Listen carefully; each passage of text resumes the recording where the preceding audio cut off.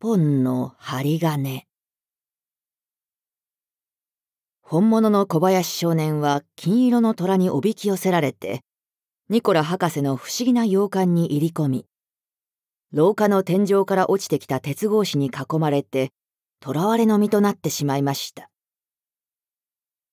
そこまでは読者諸君もご存知です。さてそれからどんなことが起こったのでしょうか。しばらくすると小林くんはニコラ博士の手下の二人の男に連れられて地下室の牢屋の中に入れられてしまいました。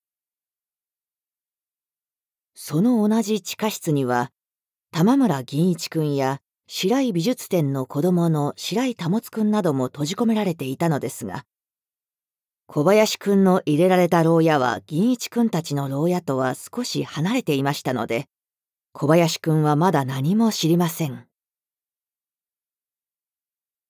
二人の男が小林くんを牢屋に入れて鉄格子に鍵をかけて行ってしまいますと。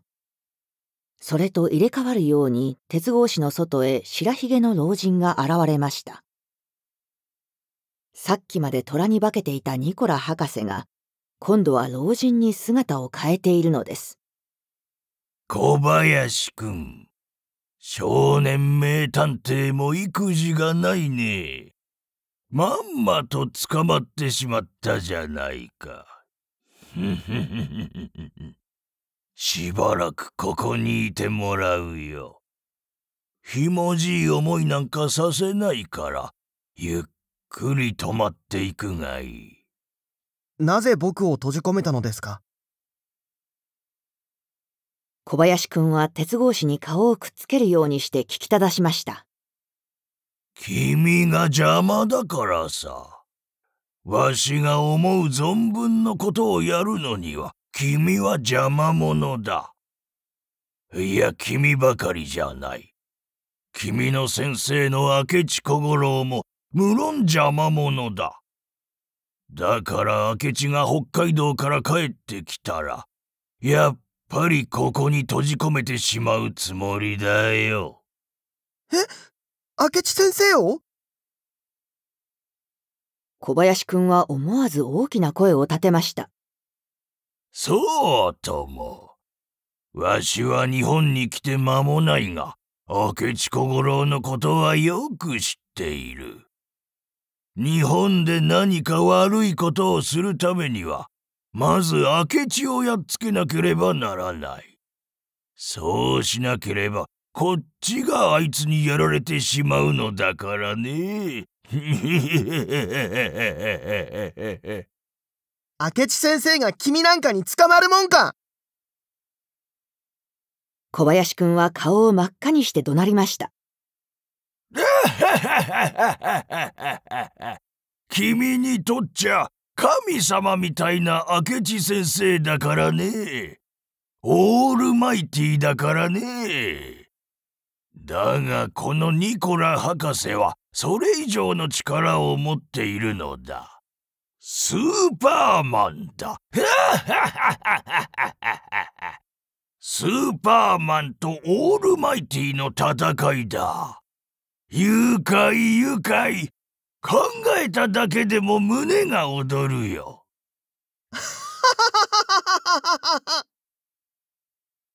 小林くんも負けないで笑い飛ばしました。君は明智先生を知らないのだ。君みたいな老いぼれに負けるような先生じゃない。今にびっくりする時が来るよ。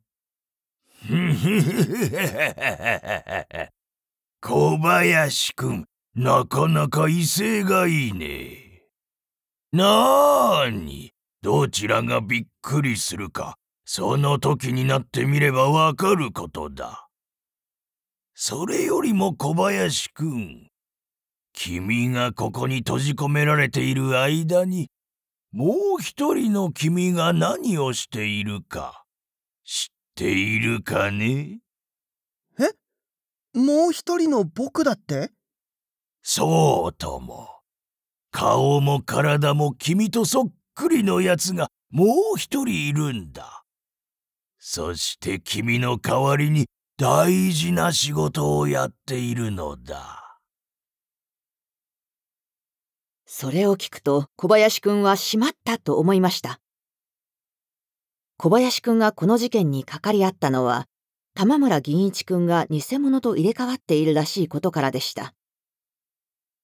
ニコラ博士は何かの魔力によって本物と寸分違わない偽の人間を作り出すことができるのかもしれません。そして今度は小林くんがその魔力にかかったのです。小林くんとそっくりの少年がどこかにもう一人いるらしいのです。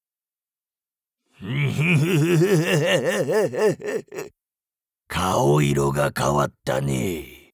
驚いたか。ニコラ博士の魔法が怖くなったか。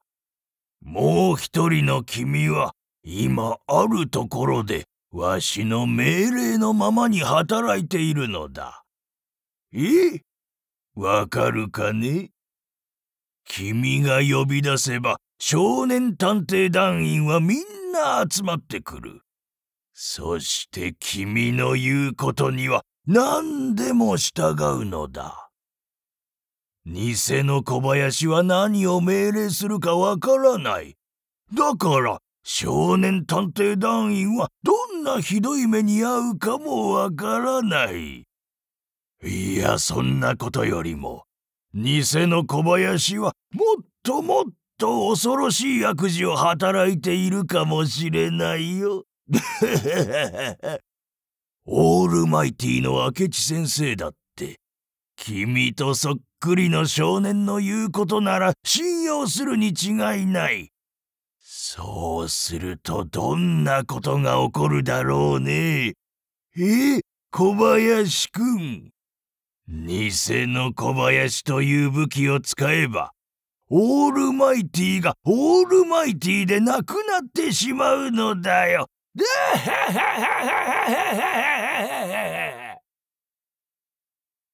ニコラ博士はその笑い声を残して鉄格子の前から向こうへ立ち去っていきました。小林くんはすっかり参ってしまいました。自分とそっくりの偽物がどっかで悪事を働いているのかと思うと気が気ではありません。しかもその悪事がどんなことだかわからないのですからいよいよ心配です。明智先生が北海道から帰られる日も近づいています。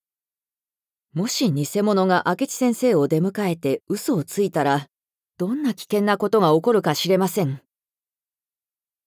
考えれば考えるほど心配で仕方がありません。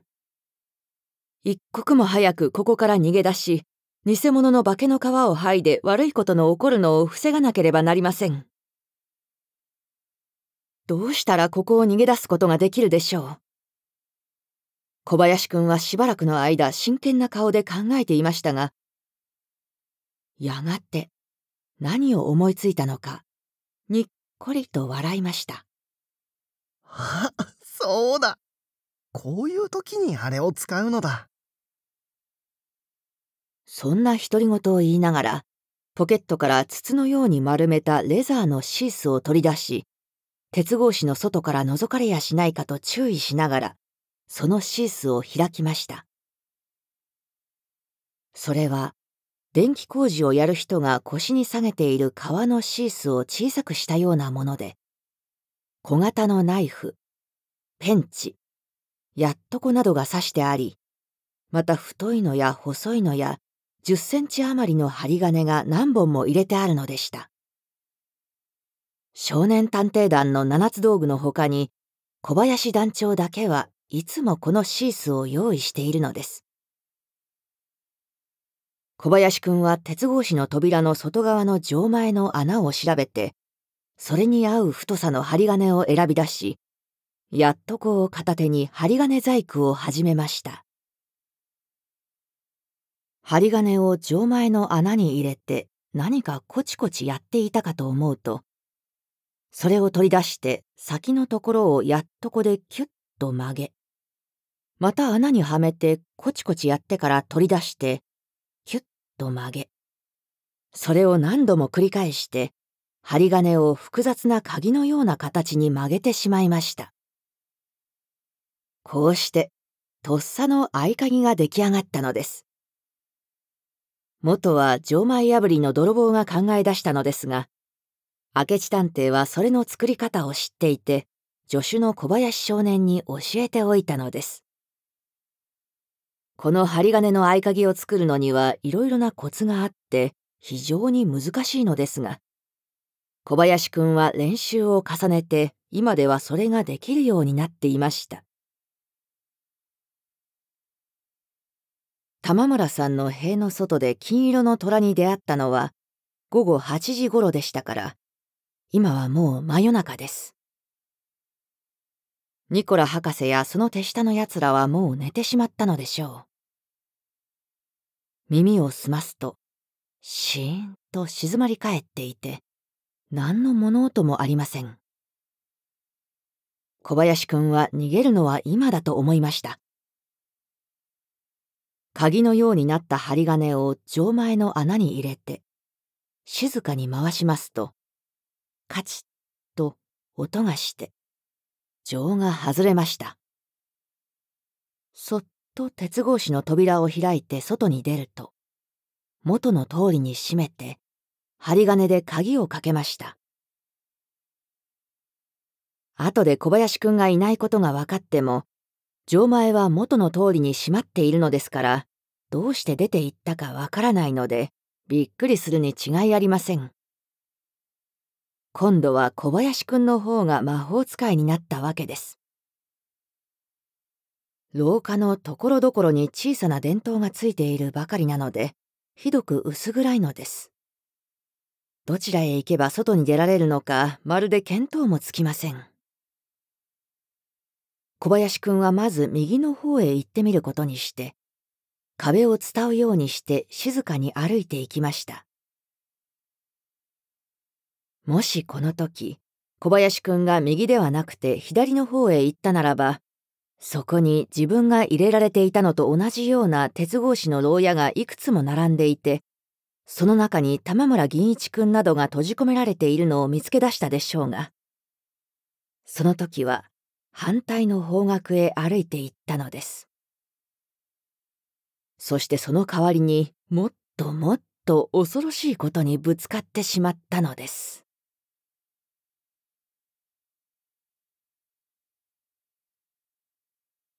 三重の秘密室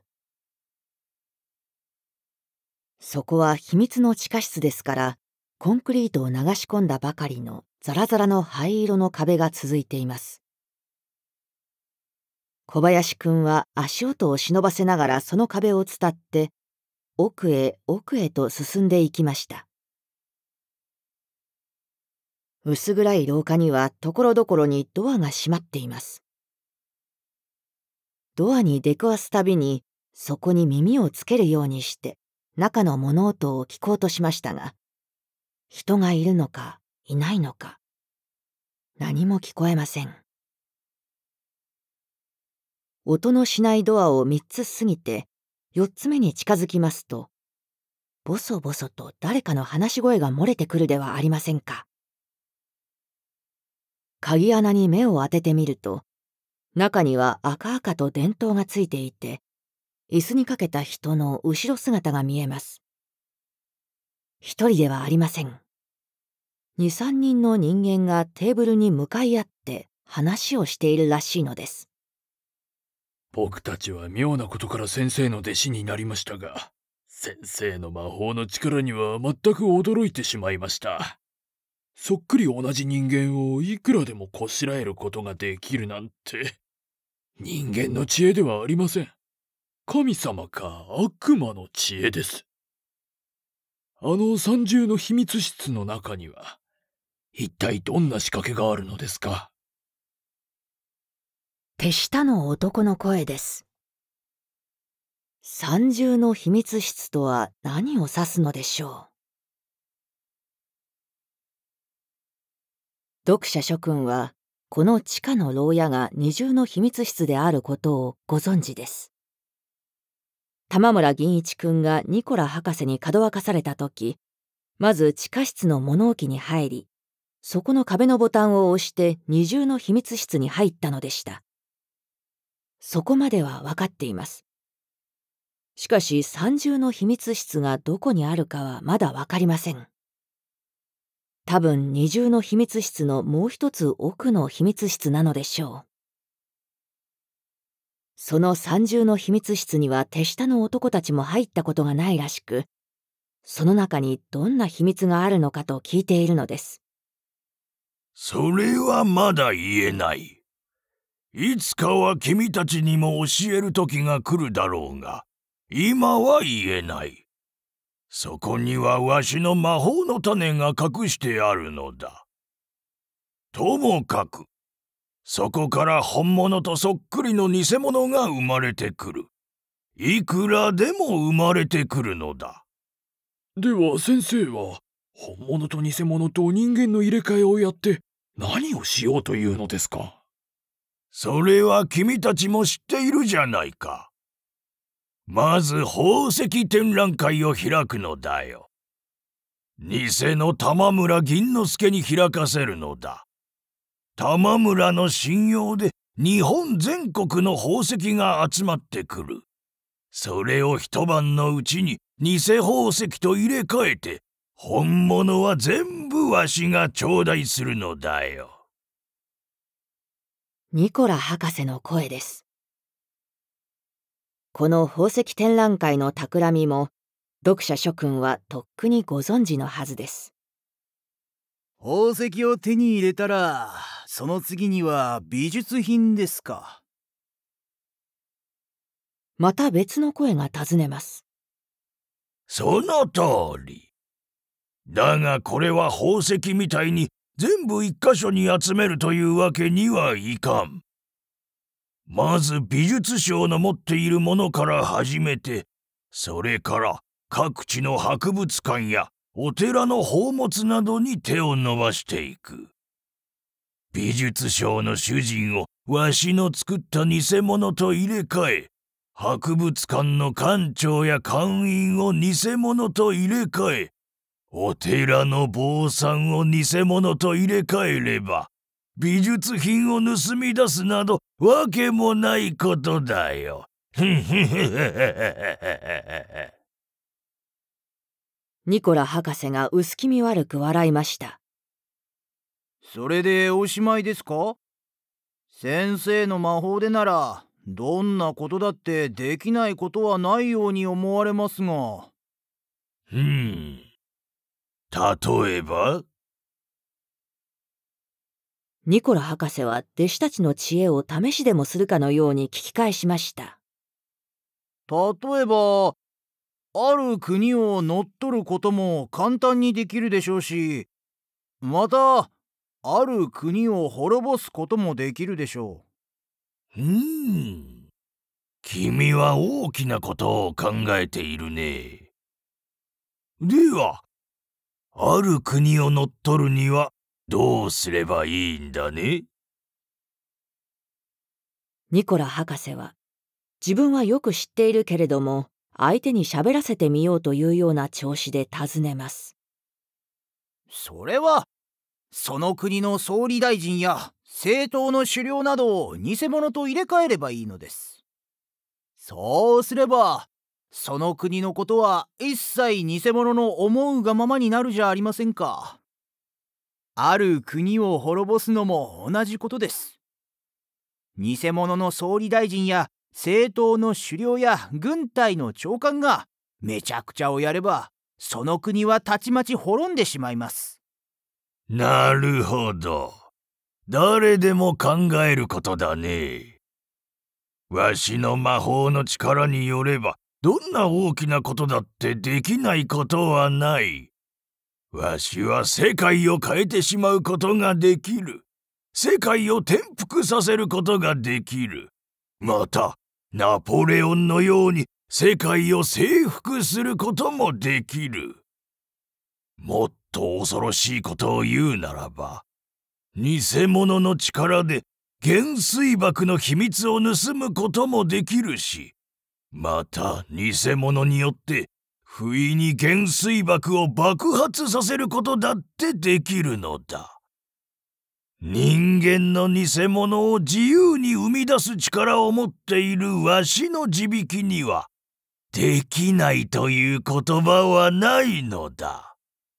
わしは今、日本の宝石と美術品を我が物とするためにこの魔力を使おうとしているが、その次には、日本そのものを盗むかもしれない。いや、世界を転覆し、世界を盗むかもしれない。もっと違った言い方をすれば、地球全体をわしのものにしてしまうかもしれない。ニコラ博士は有頂天になって自分の魔力を自慢するのでした。小林くんはこの会話を立ち聞きして心の底から驚いてしまいました。いかにも、誰の偽物でも自由に作り出す力があれば、全世界を盗むことだってできないことはありません。ああ、なんという恐ろしいことでしょう。それにしても、その魔法の種の隠されている三重の秘密室というのは一体どこにあるのでしょうか？小林くんは何とかしてその三重の秘密室に入りたいと思いました。根気よくニコラ博士をつけ回していれば、いつかはその秘密室に入るに違いありません。小林くんは相手に悟られぬようにニコラ博士を見張ってやろうと考えました。それには、ゆっくりことを運ぶほかはありません。このまま牢屋を空っぽにしておいては逃げ出したことを気づかれ、相手を用心させてしまいますから、ひとまず牢屋に戻らなければなりません。小林くんは針金の鍵で錠を開いて、元の牢屋の中に入りました。地下室には夜も昼もありませんが、ニコラ博士の手下が食事を運んでくるので大体の時間がわかります。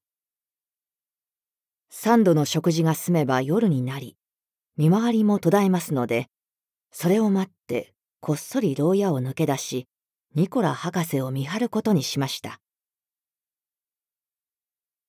小林くんはニコラ博士の寝室を見つけたいと思いました。なんとなく寝室のどこかに三重の秘密室への通路が隠されているように思われたからです。やっ博士の寝室が見つかりました。同じ地下室の一方の隅にある小さな部屋で、ベッドと机とタンスが置いてあり、ニコラ博士はその部屋で一人で寝ることが分かりました。ところがこの寝室に不思議なことが起こったのです。小林くんが捕らえられてから3日目の夜のことでした。ニコラ博士の寝室が分かったので、廊下の曲がり角に隠れてその方を見張っていますと、ニコラ博士が寝室へ入っていくのが見えました。後から誰か来るといけないのでしばらく様子を見てから寝室の前に行き、ドアの鍵穴からそっと覗いてみますと、寝室の中には人の気配もありません。ベッドの半分と机と椅子が見えていますが、そこには誰もいないのです。鍵穴から部屋の全部が見えるわけではありませんけれど、なんとなく空っぽの感じがするのです。小林くんは思い切ってそっとドアを開いてみました。誰もいません。部屋の中へ入って、ベッドの下、机の下、タンスの後ろなどを覗いてみました。やっぱり誰もいません。不思議です。ニコラ博士がこの寝室に入ってドアを閉めてからずっとドアを見ていました。博士が出ていけば気がつかぬはずはありません。壁か床に秘密の抜け穴でもあるのではないかと探し回っていますと、どこからか、ドドドドと地響きのような音が聞こえ、寝室全体がかすかに震えているような感じがします。地震かと思いましたが、どうもそうではなさそうです。そのうちに、ぎょっとするようなことに気がつきました。閉まっている入り口のドアが、ぐんぐん下へ下がっていくのです。というのはつまり、部屋の床が上へ上へと上がっていくことなのです。そのうちに下へ下がっていったドアがすっかり見えなくなったかと思うと、今度は上の方から別のドアが下がってくるではありませんか。ドアだけではなく、壁も一緒に下がってくるのです。ああ、わかりました。このニコラ博士の寝室は、部屋全体がエレベーターの仕掛けになっているのです。ドアが下がったのではなくて、部屋そのものが上に上がり、一階上のドアとぴったり合うところで止まったのです。